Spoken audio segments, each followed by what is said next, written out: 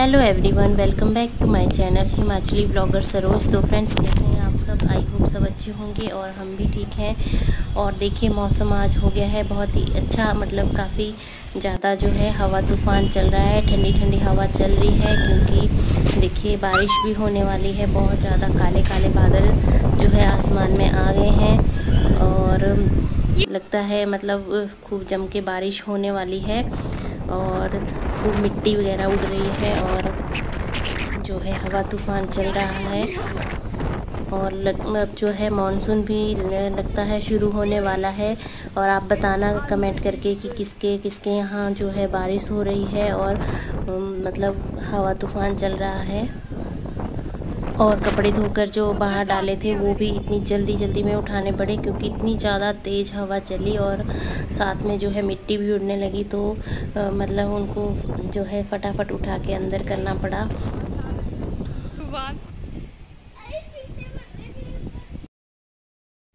तो फ्रेंड्स देखा आपने कितना जो है मौसम ख़राब हो गया है और आज जो है बारिश हो जाएगी और गर्मी से जो है राहत मिल जाएगी। और इतनी ज़्यादा हवा तूफ़ान चला कि कपड़े सूखने के लिए डाले थे, वो भी जो है बहुत जल्दी जल्दी में उठाने पड़े। बहुत ज़्यादा मिट्टी मिट्टी हो गई। तो फ्रेंड्स, हवा तूफ़ान के साथ अब जो है बारिश भी जो है बाहर शुरू हो गई है। और अभी मैं जा रही थी किचन में। आज मैं आपको, आपके साथ शेयर करने वाली हूँ। बहुत ही अच्छा और चटपटा सा एक मतलब डिश आपको जो आने वाली है बहुत ही पसंद तो उसके लिए आपको वीडियो देखनी पड़ेगी पूरी। और चलिए फिर शुरू करते हैं वीडियो आगे। और अगर आप वीडियो शुरू करने से पहले अगर आप फ़र्स्ट टाइम मेरे चैनल में विज़िट कर रहे हो तो चैनल को सब्सक्राइब करना ना भूलिएगा।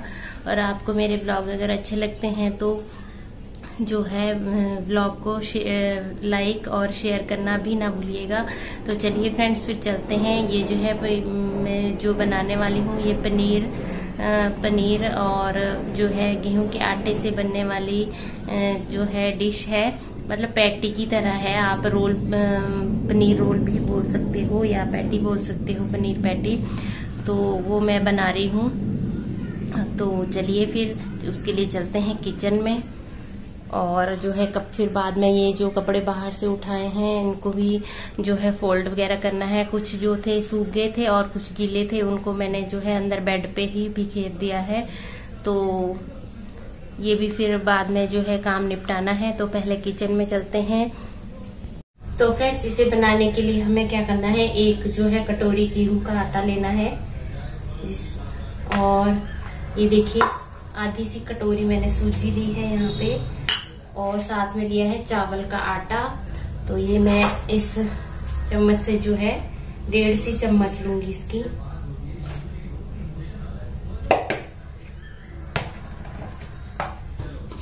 और इसमें जो है हमें डालना है म्योन मतलब तेल हमें इसमें डालना है थोड़ा सा।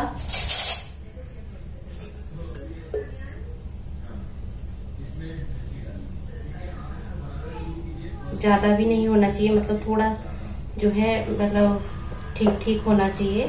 तो यहाँ मैंने इस चम्मच से जो है तीन चम्मच इसमें डाली है।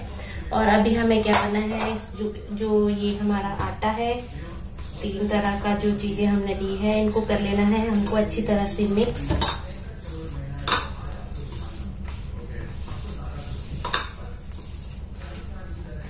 और बिल्कुल इनको इस अच्छी तरह से, ऐसे अच्छी तरह से मिक्स करना है। जब तक ये जो है, ऐसे मुट्ठी में आना, आने लगे तो अभी मैं इसको मिक्स कर लेती हूँ। और फिर उसके बाद जो है, हमें थोड़ा थोड़ा पानी डाल के इसको, इसका जो है, अच्छी तरह से डो बना लेना है। तो फिर चलिए, मैं इसका डो बना लेती हूँ।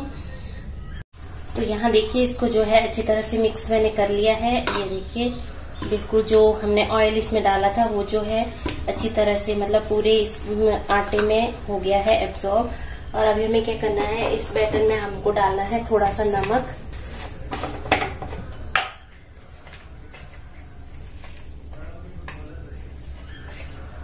तो ये देखिए, यहाँ पे जो है एक छोटी सी चम्मच में नमक यहाँ पे डाल रही हूँ.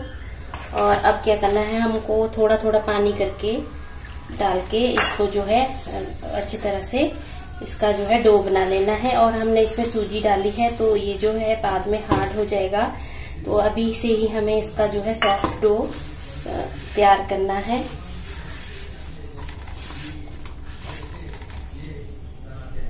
तो फ्रेंड्स यहाँ देखिए इसका जो है अच्छा सा सॉफ्ट सा डो मैंने यहाँ पे बना लिया है। और अभी हम क्या करेंगे, इसके ऊपर थोड़ा सा हल्का सा ऑयल लगा देंगे। इस तरीके से। और इसे जो है अच्छी तरह से ढक के रख देंगे। कम से कम 10 से 15 मिनट हमें इसे ढक के रखना है और उतनी देर हम जो है रेडी करेंगे। इसमें जो हम स्टफिंग करें स्टफिंग करेंगे, उसकी तैयारी कर लेंगे पहले। तो फ्रेंड्स स्टफिंग के लिए यहाँ पे देखिए, ये जो है पनीर मैंने यहाँ पे बना लिया था पहले ही।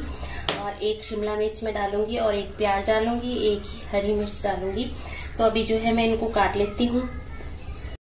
तो फ्रेंड्स यहाँ एक बाउल मैंने ले लिया है और उसमें मैं डाल दूँगी पनीर।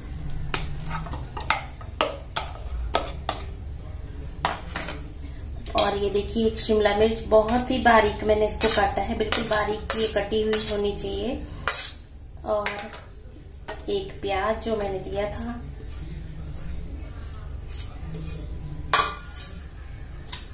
और ये हरी मिर्च।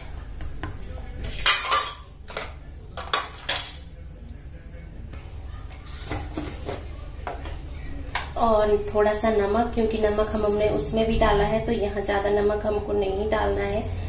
थोड़ा सा यहाँ पे नमक मैंने डाला है, और ये जो है, ये मैं डाल रही हूँ यहाँ पे धनिया पाउडर, हल्का सा।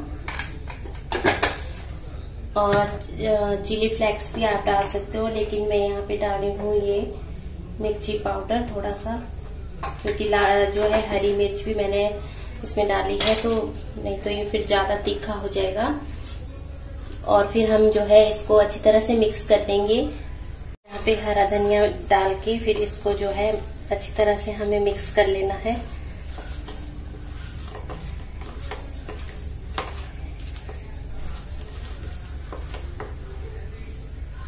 यहाँ देखिए जो डो है वो भी, इसको भी रखे हुए पंद्रह कर मिनट हो गए हैं। अभी हमें क्या करना है? इसकी जो है छोटी छोटी लोइयाँ बना लेनी है। ज़्यादा बड़ी नहीं छोटी छोटी बिल्कुल। इस तरह की।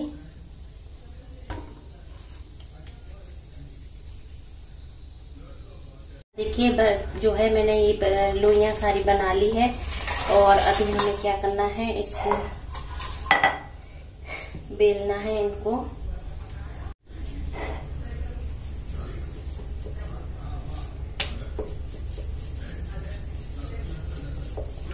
आप चाहे तो तेल लगा के भी इसको बेल सकते हैं और चाहे तो आटा लगा के भी इसको बेल सकते हैं। बस ये जो है, बिल्कुल पतला ये होना चाहिए।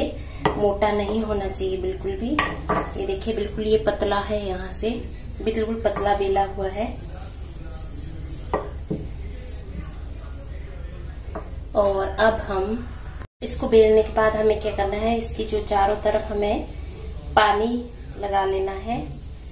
थोड़ा थोड़ा ज़्यादा नहीं, बिल्कुल थोड़ा थोड़ा पानी, ताकि जब हम इसे बंद करें तो ये अच्छी तरह से बंद हो जाए। और अब हमें क्या करना है? अब करनी हमें इसमें स्टफिंग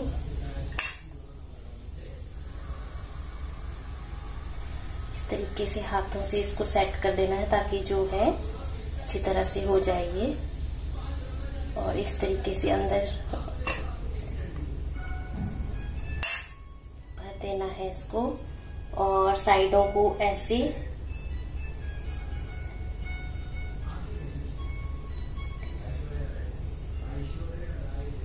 ये देखिए, और कर देना है इसको रोल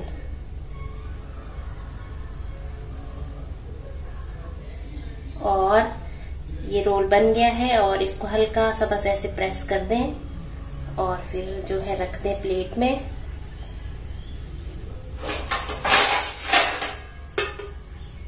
ये देखिए।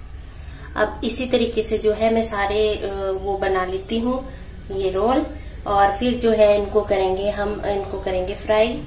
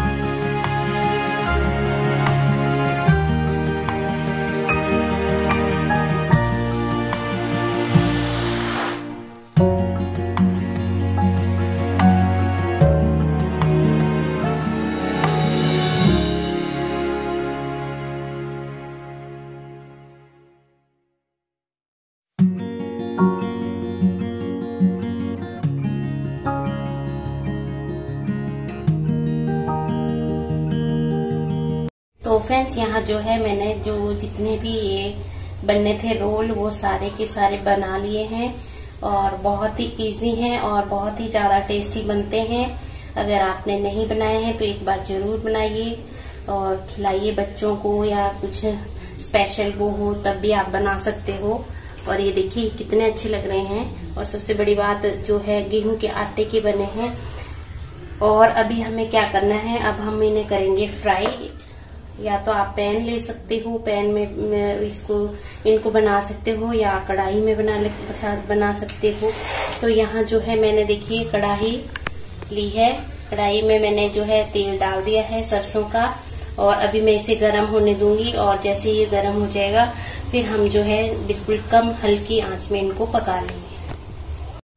अभी जो है तेल गरम हो गया है और अभी हम क्या करेंगे, इनको डाल देंगे इस तेल में।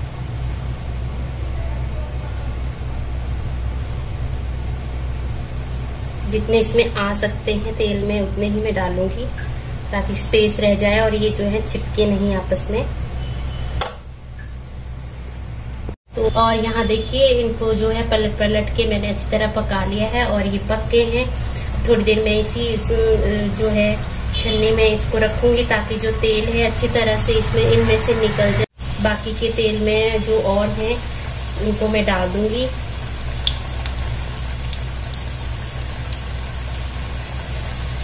और देखिए, तेल बिल्कुल अच्छी तरह से इनसे निकल गया है, बिल्कुल भी तेल नहीं है।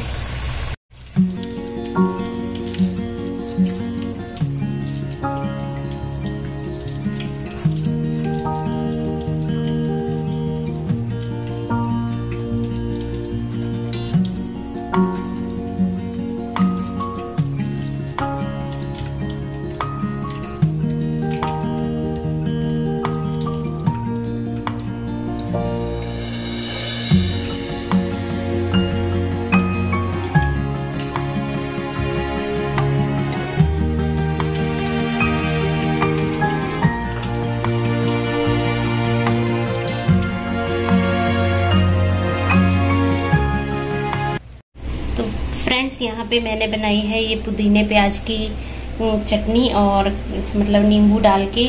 और अभी जो है हम ये अपने, जो हमने ये बनाए हैं, रोल, पनीर रोल, इनको हम जो है यहाँ पे प्लेट में सजा देंगे। और ये देखिए कितने अच्छे लग रहे हैं ये पनीर रोल। आप इन्हें पनीर पैटी भी बोल सकते हो, पनीर रोल भी बोल सकते हो। तो अभी ये बन के रेडी है और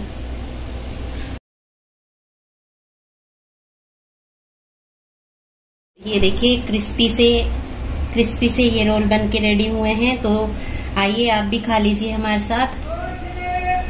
तो फ्रेंड्स ये था आज का वीडियो आई होप आपको अच्छा लगेगा, और वीडियो अच्छा लगे तो वीडियो को लाइक शेयर और मेरे चैनल को सब्सक्राइब करना ना भूलिएगा।